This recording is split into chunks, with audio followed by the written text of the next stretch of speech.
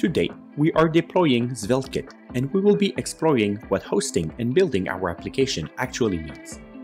Stay until the end to see my favorite hosting option.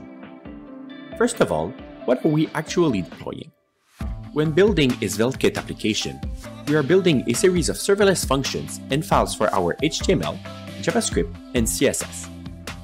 Hosting means executing these functions and serving these files when a user visits our website.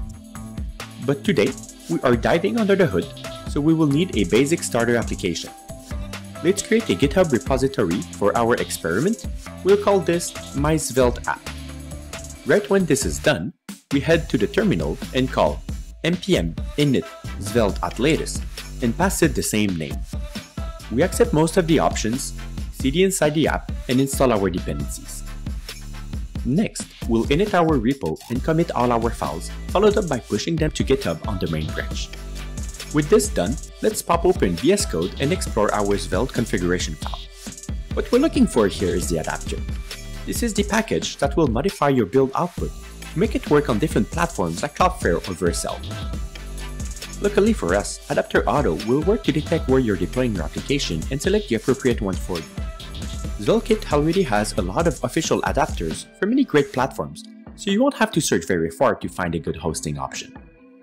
But now, let's actually get to using and customizing one of these adapters.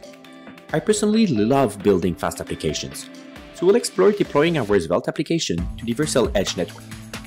To do so, we'll be sure to override the auto adapter and use the Vercel one instead. This will allow us to tweak the behavior, and in our case, we will simply turn on Edge True to only use Edge functions. When tweaking platform-specific options, like deploying to the Edge functions, we need to install the right adapter, which I will do right now. Once this is done, we'll use the Vercel CLI to actually proceed and deploy this. You can download the CLI from the link in the description. We'll be asked a few questions about our project, which will mostly accept all the default values here. Once this is done, the Vercel CLI will call our build command and ensure that the build is done according to our specifications for Vite build and our adapter.